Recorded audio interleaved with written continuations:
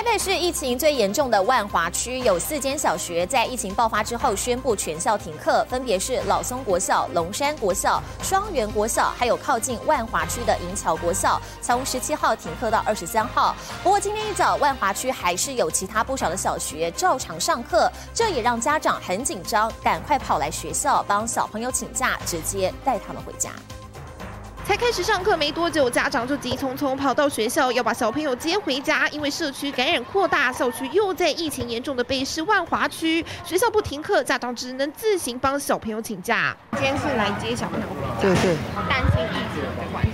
哎，对对，因为看新闻看的有一点慌，心惶惶的。社区感染一爆发，台北市万华区有四间国小宣布全校停课。老松国小因为距离筛检站比较近，恐怕有感染疑虑；龙山国小后面刚好是茶街，担心会有较多感染源。双园国小、银桥国小则是因为有确诊个案，这四间国小立刻宣布从十七号全校停课到二十三号。但其余国小通通照常上课，让不少家长担忧。万华明明是重灾区，怎么不全面停课？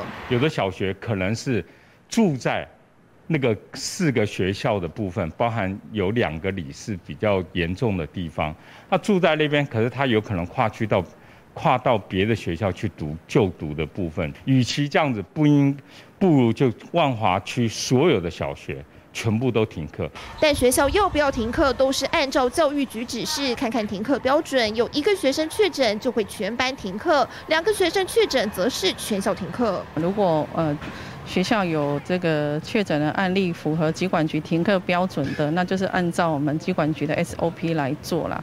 那学校呃永远会做好这个远距教学的一个准备。已经被妥相关措施，就等中央宣布停课。万华区还有一间幼儿园传出有课后美术班老师确诊，园方也紧急宣布从十七号停课到二十八号，并进行全面消毒。